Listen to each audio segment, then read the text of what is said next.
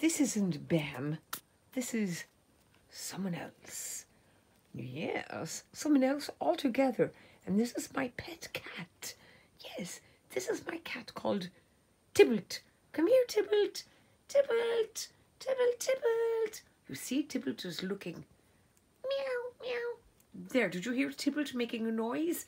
Now that proves that Tybalt is a cat.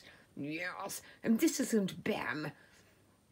This is someone very scary and dangerous, hiding behind a persona of possible warrior or something else scary and dangerous. And now my pet cat has gone to catch some mice, I think, and and do things like cats do. Meow, meow. Yes, you can hear him. That is really him making that noise. It is not me, because I'm not Bear. Ah, here he is back again, my pet cat, uh, who who is crossed with a, a dog, and likes makeup. Come here, Tybalt. Come to all the cat noises that we make for one's cat.